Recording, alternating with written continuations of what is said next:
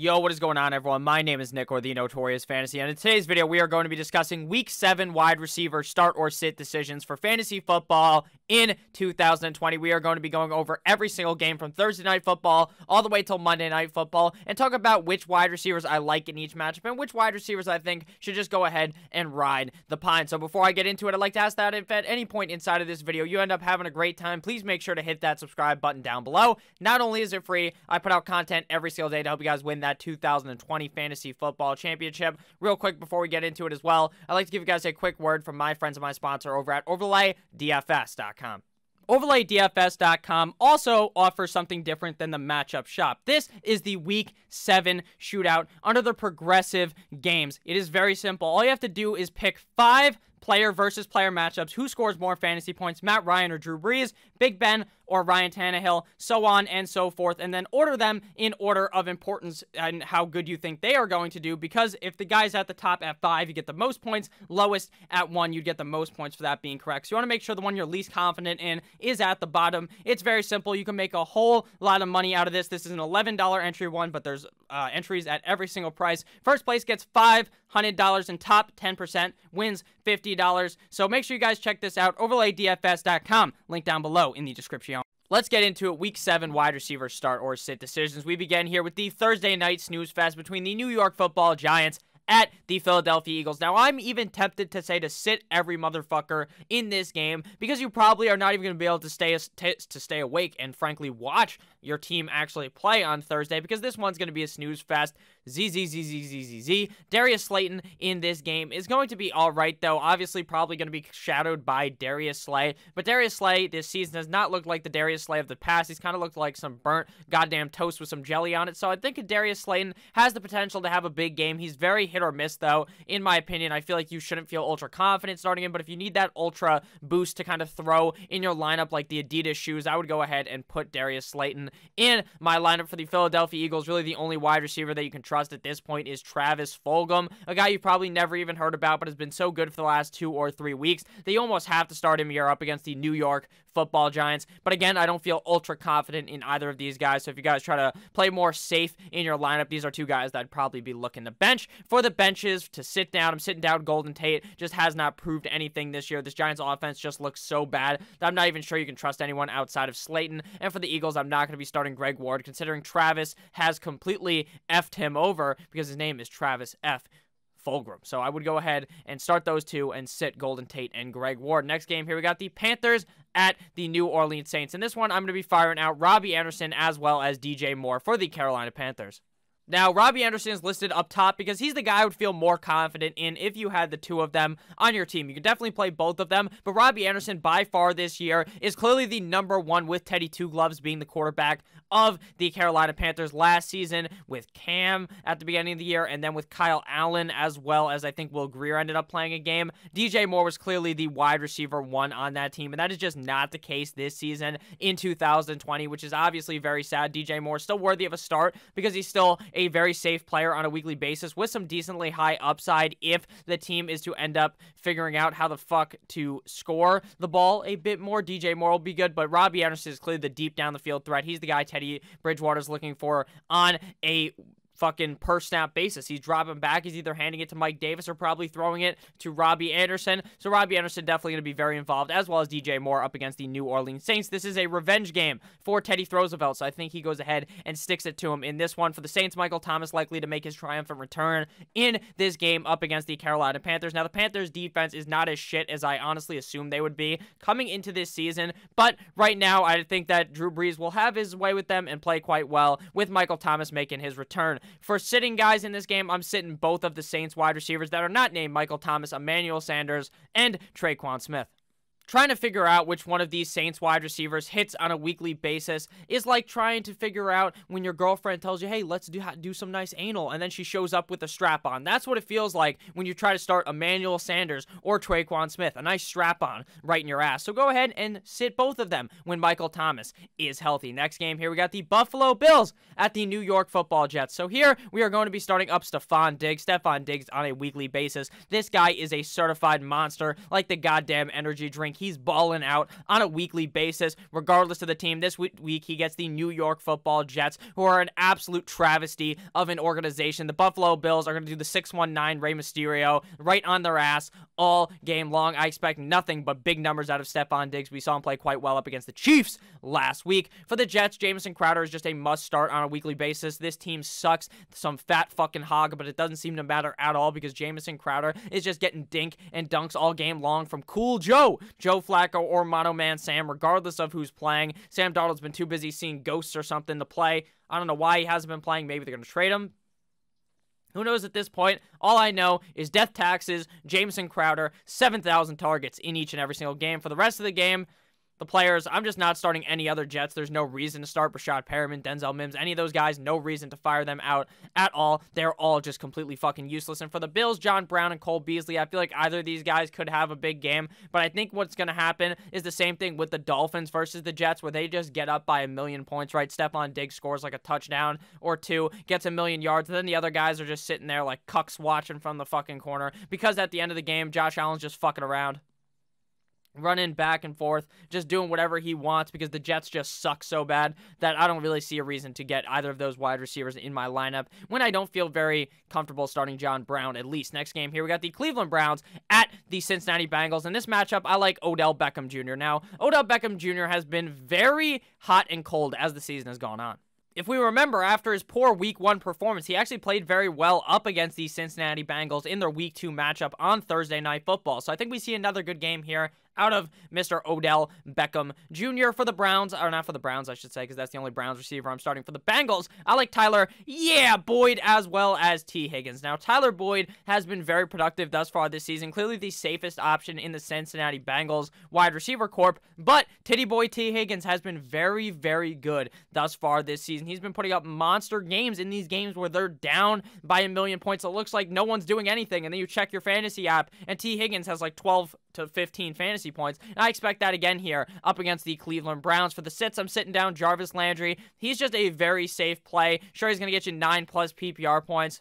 But he just hasn't been having those ceiling games where he scores like 25 points really at all thus far this season. For sits for the Bengals, I am not starting AJ Green, AJ Green. You would have to pay me to play this motherfucker. This guy is completely washed up. He's a cum rag for your fantasy football lineup. You might as well just cut him at this point because you're never going to find a reason to play him if you're in any league that is not like a 16 team league. Next game here, we got the Dallas Cowboys going up against the Washington football team. Now, the one bright spot about the Dallas Cowboys is the fact that even when they're getting smacked up by the Arizona Cardinals on Monday Night Football, the wide receivers still play quite well. Here up against the Washington football team, I expect a much better game out of Andy Dalton. Andy Dalton looked awful.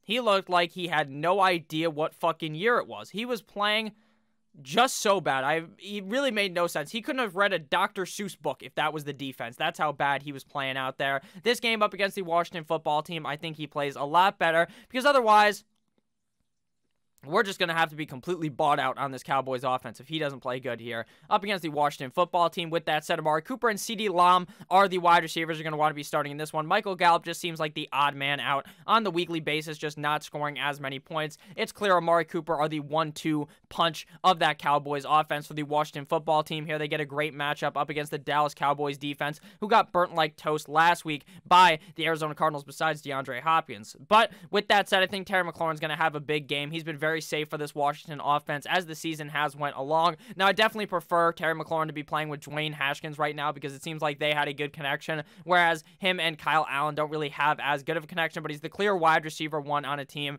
going up against one of the worst defenses in the NFL. That's an easy start for me, and I'm going to be sitting down Michael Gallup because, again, I said I just kind of feel like he's just kind of the side piece watching these other two guys go off for the Dallas Cowboys. Next game here, we got the Green Bay Packers at the Houston Texans. If you guys have ended up enjoying this video, video thus far, please make sure to hit that subscribe button down below. Back into the video, the Packers at the Houston Texans. This is going to be the return game of Davante Adams going up against the Houston Texans, and what a game to return to. Last week, Tom Brady went full on Cobra Kai and kicked the absolute shit out of the Green Bay Packers last week without Davante Adams. And now Aaron Rodgers is going to be feisty. He's going to be angry. He hit him with the Hingle McCringleberry. Uh, you can't see my my my like lower body, but I'm thrusting just like he was. He did the thrust celebration early in the game, and then the only thrusting happening later in the game was Tom Brady going balls deep in Aaron Rodgers' ass. And in this game, I think that the Packers are going to be pissed off. I think Rodgers is going to be mad. And I think Davante Adams is going to go absolutely absolutely crazy in his return game here up against the Houston Texans. For the Houston Texans, Will Fuller has been the opposite of what Will Fuller has always been his whole career used to be one week this guy goes fucking ape shit on your opponent, and then the next week this guy's just sleeping on your lineup, taking a nice shit right on your chest. Now, Will Fuller's just in your lineup on a weekly basis, balling out of control. So I'm going to continue to start him here, even up against the Packers defense that I thought was pretty good, but Tom Brady executed them last week. For Brandin Cooks, I had no idea that this was coming, right? Week one through three, this guy was looking like a bum, but the last two games, Brandin Cooks has been going crazy. He's been playing so well for the Houston Texans that I'm willing to start him at this point. And now I bought into Brandin Cooks. So what he is going to do is turn around and shoot me right in the goddamn skull and murder me in cold blood in the middle of fucking Sunday afternoon because that's what Brandin Cooks is going to do. I just have a feeling. I'm hooked on a feeling. But I'm high on believing, and I'm believing in Brandin Cooks though to have this big game yet again up against the Packers. It seems like Deshaun Watson has really gotten it under control now after Bill O'Brien, that butt chin motherfucker, got fired from the Houston Texans. For sits, I'm sitting down MVS as well as Randall Cobb in this game without Davante Adams being injured. It seems like you can't be starting any of these other Packers wide receivers, and Randall Cobb is kind of just like the third string guy. They'll have an okay game some games, but other games will leave you kind of disappointed, just like me in the bedroom. Just kidding. I can give you the tongue twister 3000 if you need. I'm just kidding. I will not be doing that. I have a girlfriend. Next game here, we got the Lions at the Atlanta Falcons. And in this one, I'm going to be starting up Kenny G, Kenny Bones in this one up against the Atlanta Falcons. The Atlanta Falcons defense thus far this season has not even been a thing. I don't even know where you find the metrics on how how possibly can you find the metrics on how shit this Falcons team is? You can compare them to things that are really bad.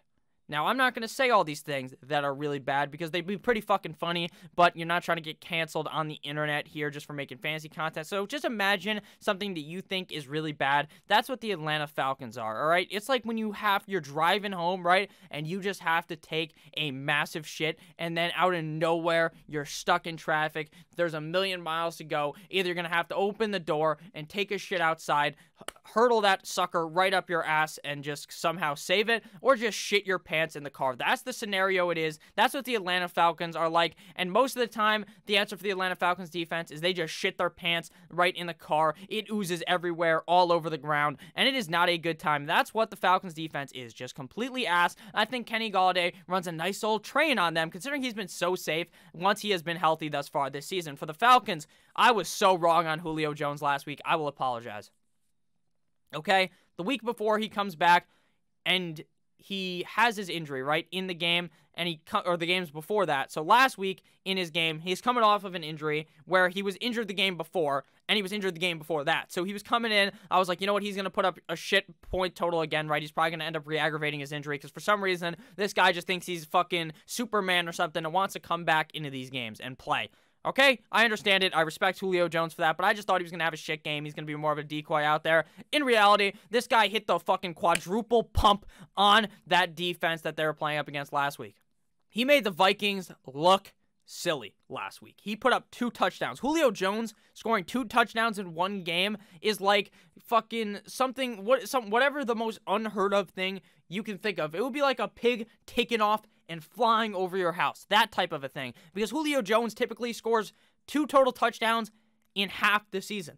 But he scored two touchdowns in one game. That will never happen again. That was the most wrong call I have ever been on. So I'm sorry if I told you to sit Julio Jones. I'm very sorry. Calvin Ridley, also been very good thus far this season. Had one bad game where he put up a goose egg. Everyone was calling for his name, saying, Calvin Ridley, you dumb motherfucker, you're terrible, this, that, and the other thing, putting disrespect on his name, when in reality, he's one of the best wide receivers in fantasy football right now. I believe he's still listed as the number one guy in PPR, so this guy is going to go absolutely ham bony up against the Lions. I expect this one to be a nice high scoring game. And I'm going to be sitting down Marvin Jones. Now, this does seem like the matchup where you want to start Marvin Jones, but he has not proved it to me at all this season that he's the guy that he used to be in the past. Next game here, we got the Pittsburgh Steelers at the Le Titans in Tennessee. I like Chase Claypool as well as Juju Smith Schuster in this matchup. Diontae Johnson is just dead in the dirt because Big Ben Roethlisberger loves to throw the ball to Chase Claypool. Chase Claypool has put up two great games in a row. He's a touchdown machine, and he's going to play good even up against a tough Tennessee Titans defense because we saw even Houston look good up against a tougher defense in the NFL. For Juju Smith Schuster, he's a start, but I actually think I'd rather play Chase Claypool than him at this point it is what it is. I mean, I'm just not super confident in Juju at this point. He has not shown me that he has been that safety guy on a week in, week out basis. He just has not been. Will he have that big game eventually? Yes, he will. Will he become consistent eventually? I think so. But is this the time to do it? Probably not. I'm still going to start him, hoping that he does that, but I am definitely more confident if I have Chase Claypool over Juju Smith Schuster for the Titans. A.J. Brown made his return last week. Just went crazy. Actually, maybe it wasn't last week. Was, I think it was the week before he made his return. He's been going crazy two games in a row. This guy is just a amazing piece for this Titans offense. There's a reason why he was amazing last season as well. Clearly, because the Titans can actually throw the ball. They're a team that in your head you think about, oh, Derrick Henry runs the ball for 200 yards, right? They don't throw the ball. And Derrick Henry does run for 200 yards, and Ryan Tannehill still throws the ball a million times a game. So A.J. Brown is a guy I feel ultra confident in here, even up against a tough Steelers defense, due to the amount of volume that he gets and how skilled he is. For Corey Davis, I'm going to go ahead and list him as a sit. Now, he can play. He, I believe, came off the Corona protocol. But the Steelers defense is a not so bueno matchup for him, and Diontae Johnson is going to be a sit for me until he hops back in the lineup and proves that he can't get hurt. For the Seattle Seahawks at the Arizona Cardinals is the next game, and this one is just a smorgasbord of wide receivers to start. DK Metcalf has been balling on the weekend like usual. He's been balling double OT like I'm KD, smoking OG. Shout out to Post Malone. This guy is phenomenal. He is the greatest wide receiver ever it seems like, at this point. He is so good that it is crazy. He legitimately is the biggest motherfucker you've ever seen. The fastest mother. No, he's not super fast, but he's still pretty fast. He has Russell Wilson throwing them at him the ball. He's playing against the Cardinals. I understand last week the Cardinals locked up the shit out of the Dallas Cowboys. They're locked up like Bobby Shmurda right now. That's what that defense did to Andy Dalton. But here, we're going to see Kyler Murray, not Kyler Murray, we're going to see Russell Wilson cook it up like he's Chef fucking Curry with the pot boy, and he's going to play good in this game. DK Metcalf, Tyler Lockett. Tyler Lockett has been kind of disappointing. He's like, you know, when you have, like, if you're a dad, you have two sons, you know, one of them, you know, they're the grade A student. The other one's kind of a disappointment, you know, not really, but that's kind of a joke. But Tyler Lockett's been kind of disappointing we, as of recently. Was very good in the past, though, uh, this season. DeAndre Hopkins going up against the Houston Texans, oh, not the Houston Texans, going up against the Seattle Seahawks. I expect a big game here out of him for the Arizona Cardinals, considering he didn't play so hot last week up against the Dallas Cowboys. Now, Christian Kirk ran a train on that Dallas ass, smacking it as he runs by like he's riding a horse, fucking slapping that thing while he's going by. And I think in this game, he's going to have a slight decrease in work because Hopkins is going to do so much better, which makes Kirk a sit. But if you're in a deeper kind of league, I would not mind starting Christian Kirk next game. Here we got the Chiefs at the Broncos, an in division matchup here. And in this one, I really only want to start Tyreek the Freak Hill.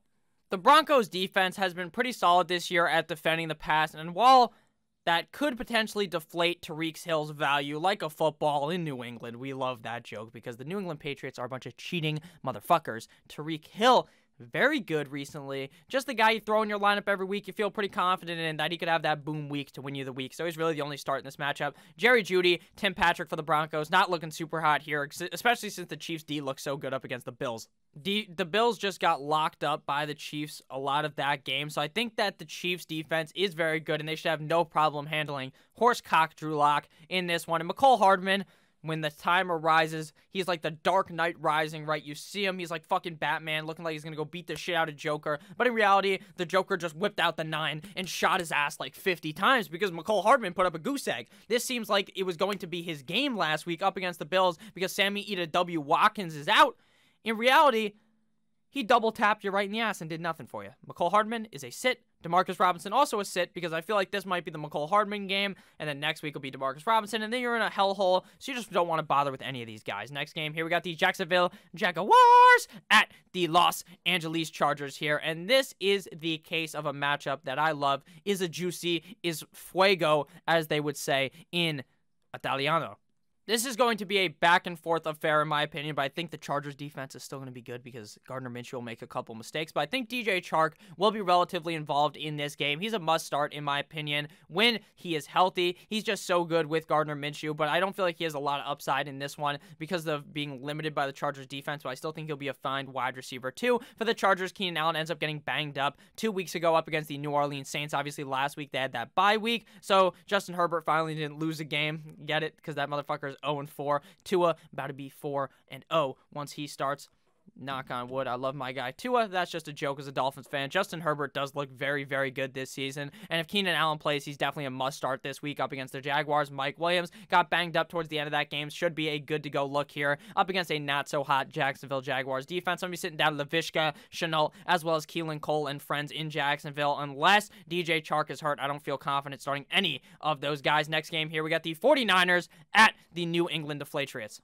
Speaking of deflated, the Patriots team last week looked absolutely deflated. Cam Newton looked awful. Bill Belichick looked like a dumbass. They all played like shit up against Horsecock Drew Lock and the Denver Broncos. I think they look slightly better in this game, but up against the 49ers who looked very good last week, I got a feeling that Jimmy Garoppolo has this revenge game scenario where he's like, that should be me, not Cam Newton. I should be that guy. In reality, I'm the guy in San Francisco who loses a Super Bowl to Patrick Mahomes. So I like no one in this game. I'm sitting Deebo. I'm sitting Brandon Aiyuk for the Niners. For the Patriots, I'm sitting Edelman as well as N'Keal Harry until we figure out what the fuck is wrong with the New England Deflatriots. Now onto the Sunday night football game between the Tampa Bay Buccaneers, Tom Brady's Tampa Bay Buccaneers, and the Las Vegas Raiders. For the Raiders, I don't like a single wide receiver. I just don't. Agholor, he's okay. Now, Agholor, someone explain to me what the fuck happened to this guy. He, he's in Philadelphia, can't catch a cold in Philadelphia. Here, he's catching everything. I don't know how the fuck that's possible because I guess you can just catch anything in Las Vegas. So for Henry Ruggs, he's a guy that's kind of hit or miss in my opinion. I think he could have a big game. So if you're crazy, you snorted a line before you set your lineup, throw Ruggs in there. He'll have a nice time for you, potentially blowing up for you on your television. Hunter Renfrow is going to be a sit for me as well. For the Bucks, I'm starting Godwin as well as Evans. Both not amazing games last week up against the Green Bay Packers, but I expect greener pastures here up against the Raiders. And final game here, the Sunday or the Monday night football matchup between nine-inch Nicholas Foles and the LA Rams. In this one, I like Allen Robinson as a must-start wide receiver for this week, even up against Jalen Ramsey. Nine-inch Nick Foles peppers this man Salt Bae style with targets on a weekly basis, and I think he still plays fine here up against Jalen Ramsey and the Los Angeles Rams. For the Rams, Robert Woods as well as Cooper Kupp are starts on a weekly basis as well. Even when Goff doesn't look excellent, they still somewhat are able to put up good games, but the problem with Goff is he either looks amazing or he does his best Houdini impression and completely disappears. But with a very topsy turvy run game in LA, I feel like Robert Woods as well as Cooper Kupp should be able to have big games here up against the Bears. But temper your expectations because a big game it's just an all right game because they're playing the Bears. It's not like a top 10 game. I feel like these guys are more top 15, top 18 ish options on the week. And for the Bears, I'm sitting down Anthony Miller and Mo Mooney, more problems, Darnell Mooney in this one because neither of those guys are involved enough, in my opinion, with 9 inch Nick Foles to be called a start on a weekly basis. So, thank you guys all so much for watching. I love each and every single one of you motherfuckers. Make sure you guys check out overlaydfs.com. Link down below in the description. I love you all. Have a great rest of your guys' day. Hit that subscribe button. I love you all, guys. Make sure you guys stay safe, and I'll see you guys later with another banger of a video. Goodbye.